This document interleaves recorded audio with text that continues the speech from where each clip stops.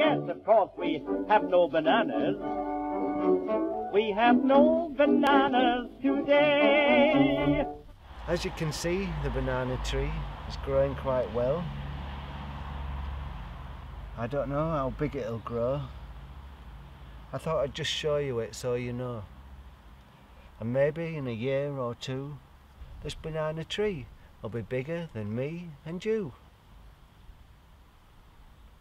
I'm not expecting some tropical fruit, but we'll just see how it do.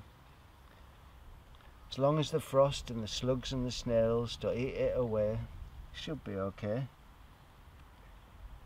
Yep, that's the little old banana tree.